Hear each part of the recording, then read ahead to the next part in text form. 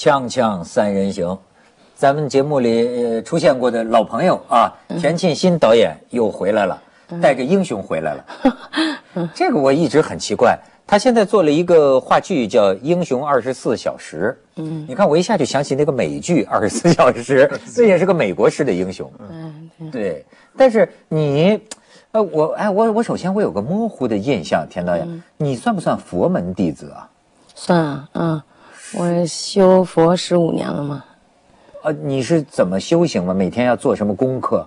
嗯，也没有什么特别的，非要去嗯强加自己的，就是因为我觉得佛学还是一个比较，呃，就比较宽容的一个宗教，所以我今呃打打坐呀，呃有功夫了就念念经啊，这样，嗯，那这个实在没功夫就在车上念念念经。饮食呢？饮食就是原来挺能吃肉的，嗯，后来信佛一段时间了，现在吃肉少了，呃，呃，但在场合里面，比如说朋友在一起，你要是说我吃素，这样很影响大家，所以就也没那么随随随缘随缘，对对对，不杀生是肯定的，嗯。所以你看，我对他啊就有一些好奇心。第一呢，你作为一个女导演，嗯，怎么对英雄这么感兴趣？嗯，这个呃也也没有，平时没有什么太多对英雄的一个想法，呃，就是好像我们呃生活里面呃不太提英雄，好像提起英雄觉得也也没事儿吧啊。要是有人说我想提英雄，我想做一个关于英雄的事儿，是没事儿吧？但是武侠可以做，对吧？武侠可以做。嗯，然后美国英雄可以接受。嗯嗯，那你提中国英雄这个事儿，就有一点儿显得就北京话叫比较二哈，比较二，比较二。然后要不然就比较左，比较高大上。反正都是别人嘲笑的对象。对，反正都不是，都都有一些负面，不知道为什么。其实一个正面的东西，呃，好像显得不正常，好像负面的东西显得很正常。就像说那个扶个老太太，老太太摔倒了，你扶个老太太，结果你扶老太太，老太老太太讹诈你。结果最后是因为他讹诈了你而不去扶，还是扶本身这件事情，嗯，是你的良知，是你的善心，所以就说英雄这个事情，他怎么就不能提呢？就是，他确实是可以提的事情。那这件事情的缘起，其实我做戏的一个缘起，还是被美国人刺激了一下。哦，怎么刺激你了？嗯，就是嗯。当时我们有一个跟美国百老汇想要合作的一个项目，呃，然后我和另外的一个游戏公司的朋友，就和那个美国负责这个项目的一个很很著名的一个制片人，就谈了一下，我们有一个呃像兵马俑侠拯救世界这样的一个一个一个项目的一个呃故事的一个大纲，然后就跟他谈，谈完了之后，这个美国人呢。呃，是个犹太人，平时他跟我关系很好的，结果那天正式谈这个项目，他也看完了所有的 PPT 之后，他说，呃，说，你能你能准确的说出你们一个中国英雄的名字吗？就他突然就提这个问题，然后提这个问题，我我当时想了想，雷锋，邱少云，还有雷锋，然后雷锋之后，然后我就。就浩瀚的五千年文化就，就往外走，你知道吗？就腾腾腾的，就就在我脑海里面，就这，我就堵车，有点堵车，然后我就没说出来。我没说出来，我旁边的这个朋友也没说出来，我们大家都没太说出来，愣了一会儿。然后呢，这个美国人就说：“说你看，说你们不能准确的说出你们国家一个英雄的名字，说你们中国对英雄的概念是缺失的，说你们。”呃，英雄这个概念只能由我们美国人来输入。说你还是要做一个传统一点的，有点爱情的故事。然后至于你的阵仗，至于里边的内容，就我们来去填充啊。美国式的英雄。哎，他就是提了这么一个，提了这个之后，然后我当时就比较，就是。有一心里有一点点触动，然后就大家又聊别的，聊到后来的时候，我跟他说：“我说这样，我说我会按照您的想法，我说我再出一个方案，再出一个方案，咱们看一看。这样呢，我们就就谈完了这件事儿。然后回来之后呢，我旁边这个游戏公司这个朋友想跟我一起做这个项目的人，就说说这个事情很啊很搓火，很搓火。说这个事情如果是我们自己问，可能还好。说但这个事情有美国人问出来的话，说这个。而且问了一个我从来没有想过的问题，说那正好我们在吃饭，吃饭的时候我们说那好，那就现在问一下。当时九个人，我数了一下，说比如像文涛说，你说说你心目中的中国英雄名字，准确的说出来一个。第一反应，这九个人的第一反应都是愣，就挨盘问过去都，然后，邱少云，嗯。然后有一个说说你你问这问题不是这问题跟我有什么关系吗？哎，这是问回答我这话的是个九零后的一个朋友，说没什么关系也有关系，说那你你就回答我问题吧。然后那个孩子想想说，我爸啊，哎说的他爸，然后还有的就是，呃，就是说。都不直接回答你这个问题，都是会说：“哎呦，我去想想我课本上怎么说的。”这是一个回答。那还有就是，呃，说不出来，说不出来。基本上九个都很惊讶。嗯嗯。后来我我们就觉得这个有意思，我们说那能不能把这个事情做成个戏，就让大家讨论一下。然后我们在做的过程中，就由由于美国人提出来的，后来我们又跟美国人聊。然后，跟美国人聊以后，这个美国朋友有意思。有一个美国朋友，呃，说，呃，比如说超人呀、蜘蛛侠，他说的都是美国电影里的。嗯。后来我们说，你能不能说出一个人，一个真人，不是虚拟的？也是愣了一会儿，说华盛顿。哦，华盛顿。华盛顿，嗯。然后还说个好像林肯，丁光五四说了几个好像美国政治界的英雄。也许他会说艾森豪威尔啊，巴顿将军啊，反正就是那些嗯，就是这个就激励我们，就是说我们是不是呃，就就其实也是刺激了我们，就是做一个试一试。就在我们做的这个整个的过程中，就又遇到了就是呃，就是就很多阻力。就我们首先我们创作集体的这些人做的时候，就也都不太信。就不太、不太、不太信这个题材能够在观众中产生影响，而且就说这有什么弄的？这普遍的，这有什么意思？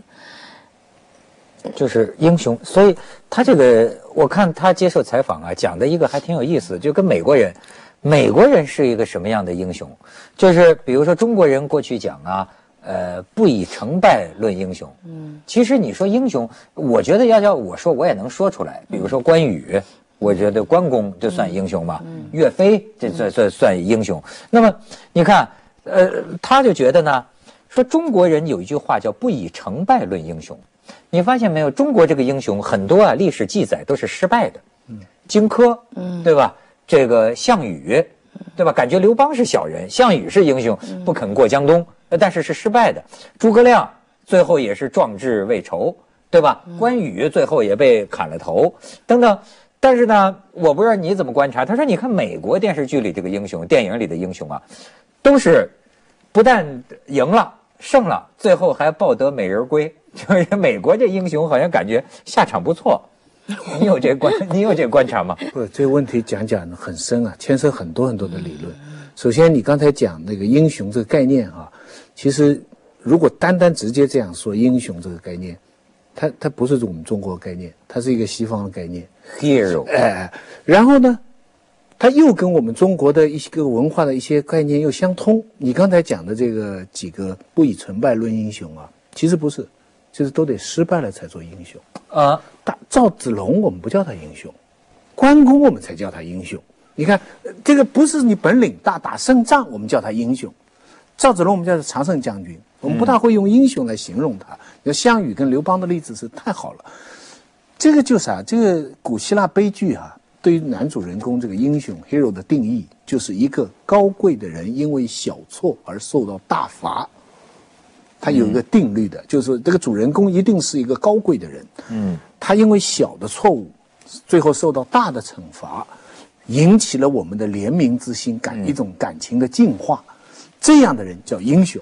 那比如说一个高嫖了个娼，给判了个死刑，这叫英雄。不高贵，这个不高贵，不算高贵。你这个是小人犯错误，演出了一个滑稽的喜剧。啊，这是喜剧，这个是喜剧，是英雄的这个这个概念，所以他他不不成功。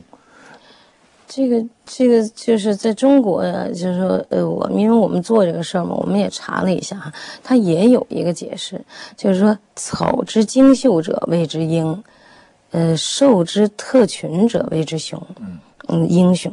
然后这个英雄的，在中国的这个这个这个解释里面，似乎比较多的是用在说头头、头目、头脑、头人啊。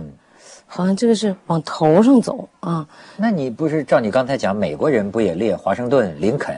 嗯，这也是头头脑脑啊。嗯，对，就但是说这个呃，美国的这个英雄他是比较成功的。嗯，呃，那中国的这个无论是头头还是头脑，有的时候他可能是在一个某个利益集团里面，然后呢，他产生下面产生的这些，呃，人，大概我们能够传送的都是。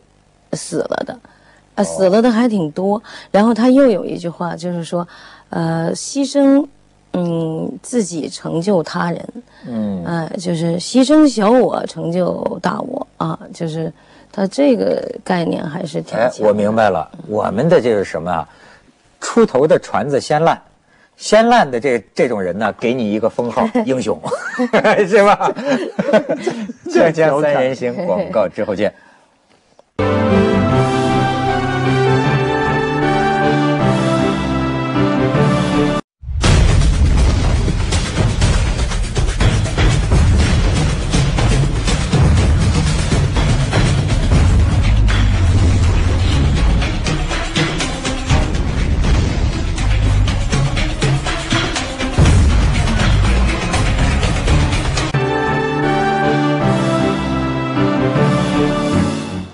其实呢，最近正有一个英雄的话题，你们算赶上了，这个军报都批评，就是邱少云。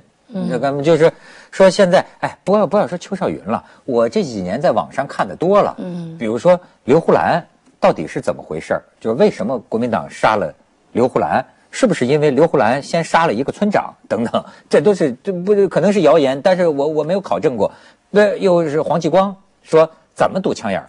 说这个不符合这个什么什么生理学啊，早就得打烂了，那机枪早把人打飞了等等。邱少云对吧？其实好，这个军报的这个这个批评文章啊，我我看，我觉得他说的我都能同意。但是我觉得啊，如果他要能再加一个自然段啊，他会让他的这个批评啊被更多的读者所接受。为什么呢？就是说这里面是不是也有一个原因？就是说在一个啊。几十年前吧，这个人民日报这样的最高的宣传媒介，都曾经头版头条亩产过万斤的这么一种状况下，这么一种记忆。哎，比如说美国人最最最最明白这个了，就是你过关，你说一句假话，你就载入记录啊。我我我直接就怀怀疑你以后说的所有的话呀，而且我会可能一辈子都不信任你啊。所以我觉得，如果我们铺垫一下这个背景，就是我们曾经经历过这种啊。呃，对于一些英雄人物啊，呃的宣传，对吧？呃，就是我们的宣传工具也曾经说过假话。如果我们承认这个前提啊，我觉得现在啊，我们对英雄的认识就能更全面。我我看到了有一个对邱少云的哥哥还是弟弟的采访，嗯，就是人家就问那些问题，就是说烧了以后身他身上的炸药什么会怎么不爆炸啊？还有大白天那个烧了以后，就总之是说什么烧了以后人不动，违反生理学的常识啊，什么什么什么。他在具体的问题上，他都是说我不清楚，我不清楚。当然他很愤怒，他觉得那些烧烤说啊，这个是非常侮辱英雄啊。我现在下面的跟帖也很多，我总结了一下，我发现英雄里边啊，大部分成为宣传的英雄都具备一个情节，就是牺牲。嗯，就是王杰，呃，欧阳海，欧阳海是一个马在铁路上，把那个马推开，他说否则的话火车会翻掉。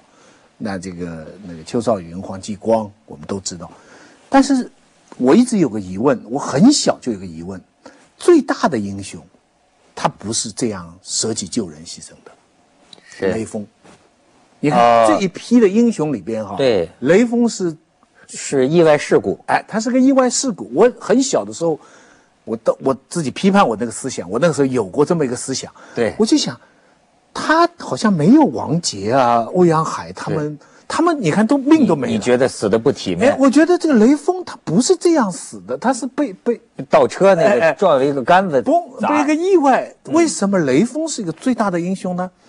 当时呢，当然有人觉悟不高，当时跟我灌输个思想，说他是那是因为主席他们都提字了，这有关系啊他提字了，后面很多人就没那么多的提字。后来我另外一个比较善意的理解就是说，雷锋这个英雄啊，比其他的英雄更容易学习，因为小事，哎，从小别的英雄啊，你你说王杰，我们学王杰，学欧阳海，别的我们都忘了，忘掉的就最后一，忘不掉的就是最后那一刻舍己救人。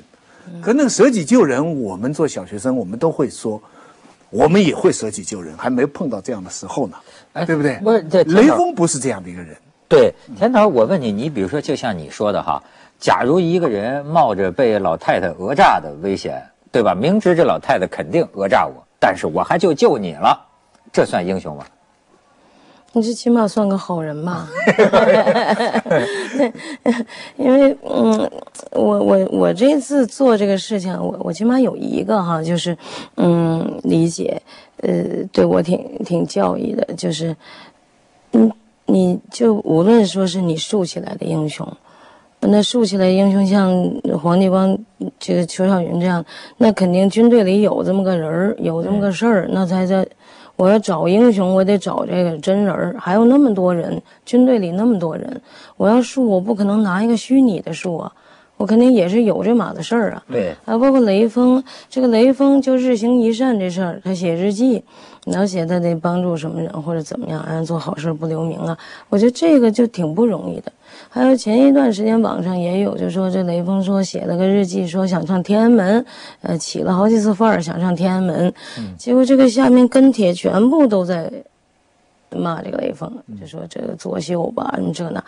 我骂想他我想当初这雷锋他肯定没作秀啊，就他当时写日记时候是真的呀。嗯。然后他这被车撞了以后，他成了就就说这这人去世了，然后我们要树这么一个英雄，然后把他东西拿出来，那那这个都是人家的真情实感的一个流露，你这个要都不信了。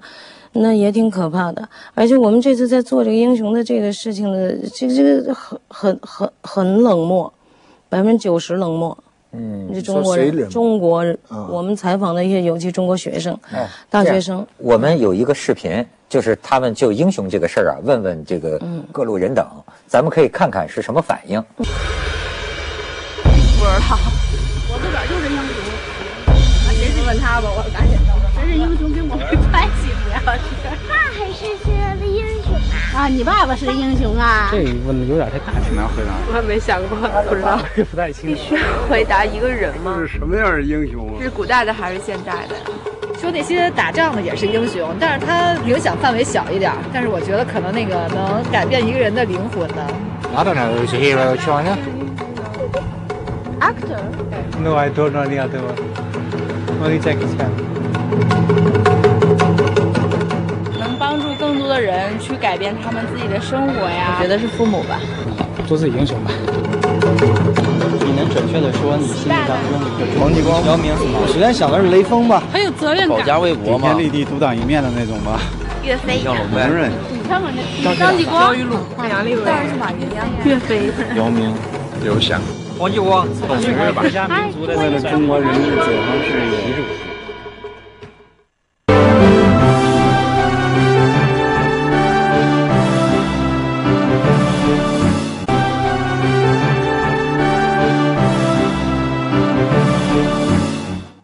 过这个事儿啊，它是一个问题哈，就是需不需要有个英雄呢？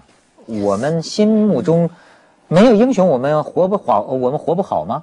没有，我觉得就是说，当美国人你提出这个问题的时候，哈，就是确实是个事儿。我们做了一个小事儿，我们没做一个大事儿。就是说，呃，我们这个英雄怎么？如果说我们的英雄是一件多么大的事情，那那这件事情就有可能左了。那我们不是这样的，我们就是因为生活里的这么一个真事儿，然后我们做了一下子，结果做了一下子，没想到就是真的非常的冷漠。就从我们的创作人员就开始说没事儿吧，做这个干嘛呀？嗯，然后这有票房吗？这个说是您要做一论证剧、知识分子戏，那您让大学里演得了。说你这个弄这干嘛？说这是不是会很学术啊？就关于这个，关于这个英雄是不是有概念？然后英雄概念是没有的。你能准确的说出你心目中一个英中国英雄的名字吗？是，都都停顿。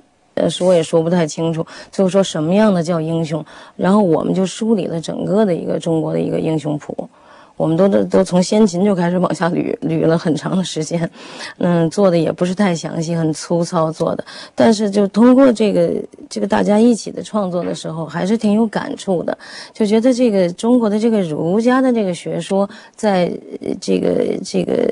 中国的这个人的精神层面上还是起到一定的作用。那么现在呢，就是大家都，我不知道是这个咱们中国文化的一个漏洞。我觉得在这个教育里面还是有漏洞的。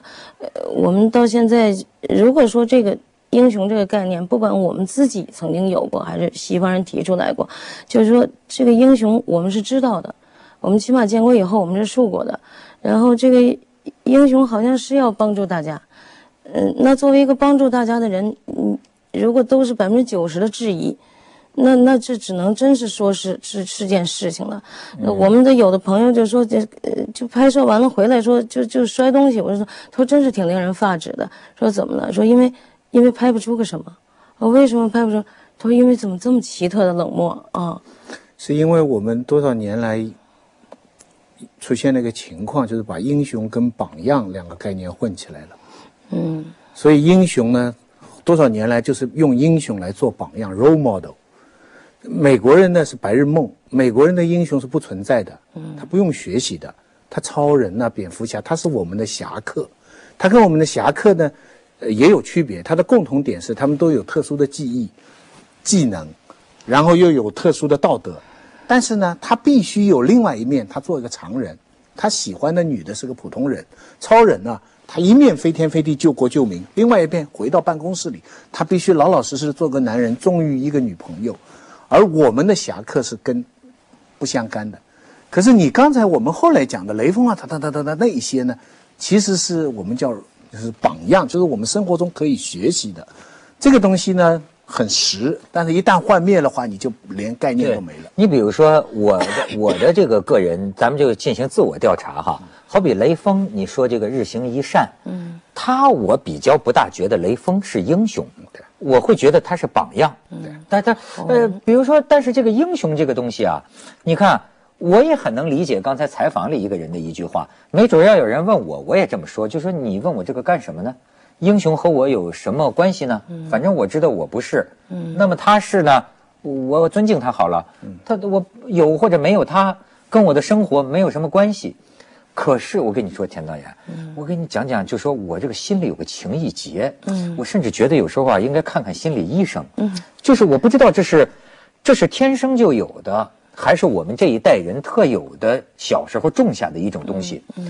我现在看电影，那个《英雄儿女》，嗯，那个王成，有时候电视上电影频道又在播，我只要一看到他最后阵地上就剩他一个人，拿着个话筒向我开炮，向我开炮，向我开炮，我就哭哭的，我就撕心裂肺，咬着被子角我就哭啊，我就百试不爽。你让我再看，我看到那儿就哭。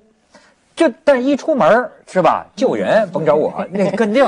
但是呢，我为什么会老是就 包括好出门呢就喊向我捐钱啊，向我捐钱。就包括这个，我看这个好莱坞的电影，这个文道就觉得我可笑，说我看蝙蝠侠都哭，我看这个蜘蛛侠我都哭。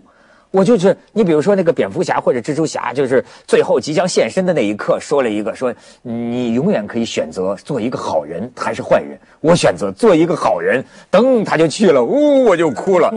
我好像对这个啊泪点非常低。那你哎，你觉得这是心中的梦？这是什么毛病呢？英雄是一种梦啊。嗯，我觉得，我觉得就是，呃，可能就是纯，如果是纯物质。纯这个，嗯，你的生命过程中的一些一些阶段性的、常识性的生活状态，和你本身作为一个人，你有一个好像似乎你达不到，但是你很想超越的一种什么理想和信念，一种什么支撑，那个东西可能会让你一下子，其实那个就是信仰嘛，就包括咱们说的这个。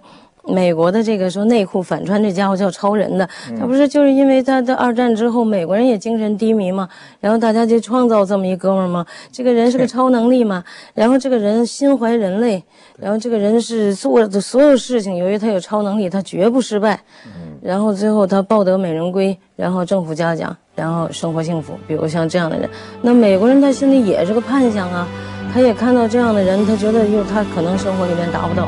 所以，他虚拟的这些所有东西，都是其实有他的基督教的，有他的这个宗教的这种。你觉得有宗教？有，您那个感动，我觉得是有信仰的一个共产主义教育的结 果是吧？有可能，但是是是一个真的是人是要有精神的，我觉得人是。接着为您播出健康新概念。哎哎，生命的意义。